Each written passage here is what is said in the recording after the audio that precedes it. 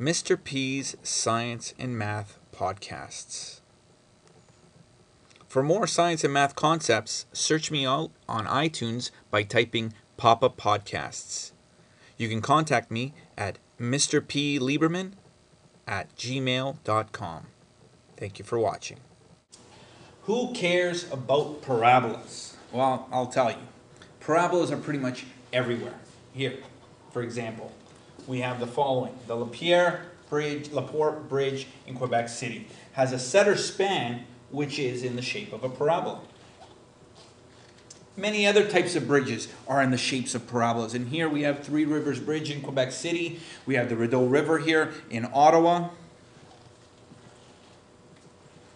Examples of parabolas here. We have the, the way the light reflects off the inner parabola of a headlamp.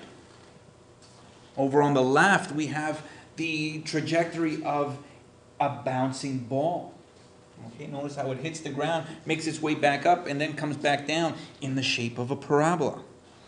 And here at the bottom, we have a cannonball being shot out, also in the parabolic curve.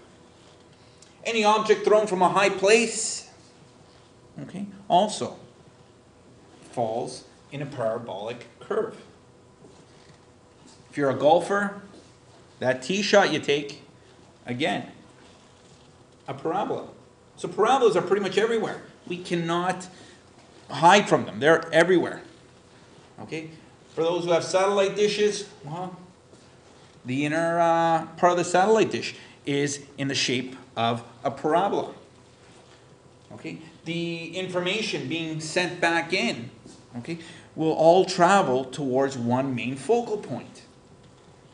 Okay, again, importance of a parabola. Many arches in the shape of the parabola. And here, one of my favorite, McDonald's, okay, in the shape of a parabola. Okay, so parabolas are everywhere.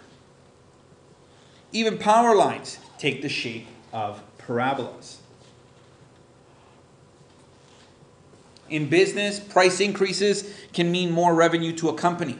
But eventually, you can only increase that amount to a certain point before consumers decide, well, we're not going to buy your product. And eventually, the parabolic curve starts to go in a downward position. We just want to make a special thanks to the Visual Classroom and Peter Mayer for making these slides possible.